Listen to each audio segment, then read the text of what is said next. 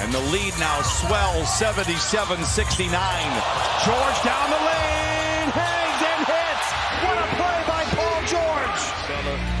Not enough able to elevate, cut into this lead a little bit by the Timberwolves.